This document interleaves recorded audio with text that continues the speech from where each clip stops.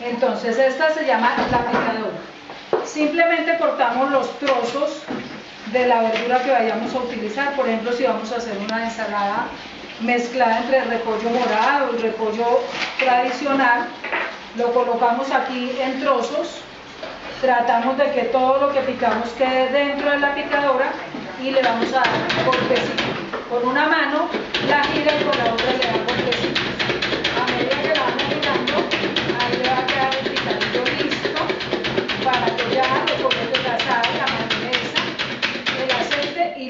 ensaladita bien picadita. Si la quieren más delgadita, simplemente vuelve, coloca adentro y le sigue dando otros golpecitos, golpe seco, mire, se devuelve solo y ustedes le van girando de acuerdo a como la quieran de picar.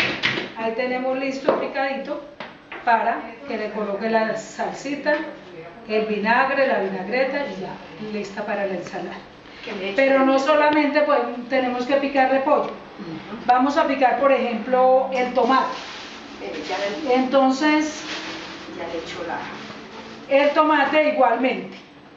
Lo picamos en pedacitos.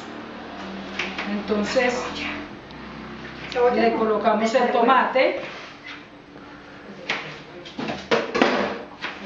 le colocamos la cebolla, todo tiene que ser picado en trozos y le podemos colocar de una vez el cilantro. Entonces, colocamos acá dentro todo y vamos a preparar el guiso de lunes. Como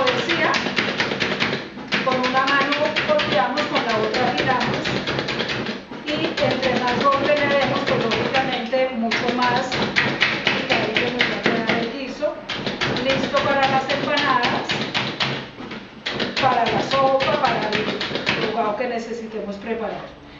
Si desea más pequeño, lógicamente, entonces le vamos a colocar nuevamente todo el picadillo acá adentro. Seguimos picando.